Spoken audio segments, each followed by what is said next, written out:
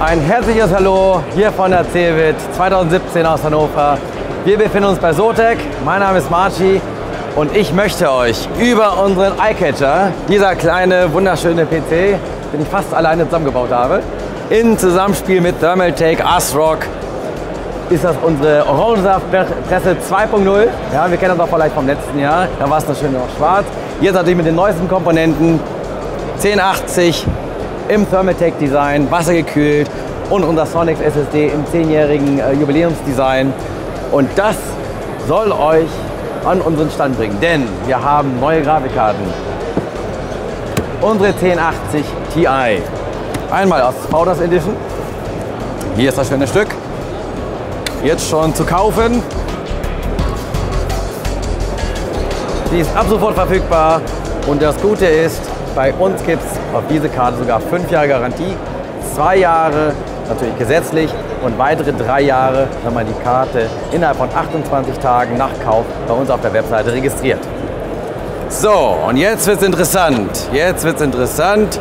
Ich zeige euch die Zotac GeForce GTX 1080 Ti Amp Extreme. Und ihr wisst das ja schon von den vorherigen Generationen. Amp Extreme bedeutet bei uns extrem übertaktet. Und unser Ziel ist, mit der Karte wieder die stärkste 1080 Ti auf den Markt zu bringen. Es ist so gelungen bei der 89 Ti, es ist uns gelungen bei der 1080. Und wir hoffen auch sehr, dass es auch hier bei der Karte ist, am Ende reicht, um die Krone zu ergattern. Die Clockspeed stehen allerdings noch nicht ganz fest, wenn ich ehrlich bin. Und deswegen müssen wir uns noch ein bisschen gedulden. Anfang April ist es dann soweit. Und dann wissen wir, ob wir es geschafft haben. Ein kleiner Vorgeschmack. Das ist noch ein Pre-Production Sample. Was kann man schon sehen? Man kann die LED-Beleuchtung sehen, ja, die wieder hier verfügbar ist. Auch an der Seite. Und natürlich auch ein Backplate. Wir haben hier zwei 8-Pin-Strom-Adapter. Dann haben wir die Anschlüsse, die man sonst so kennt. Man sieht sofort zweieinhalb Slots. Ja, das ist schon ein Monster, wiegt auch ein bisschen.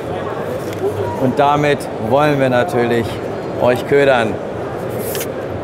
Und das ist die Karte für euch demnächst. Davon wird es auch einen kleineren Bruder geben. Die Amp Edition, die ist auch übertaktet. Allerdings, allerdings nicht so stark wie die Amp Extreme. Ja? Bisschen in Anlehnung an das äh, 1080 Amp Design, auch mit LEDs. Ja, so sieht es von hinten aus. Auch zwei 8-Pin-Stromstecker.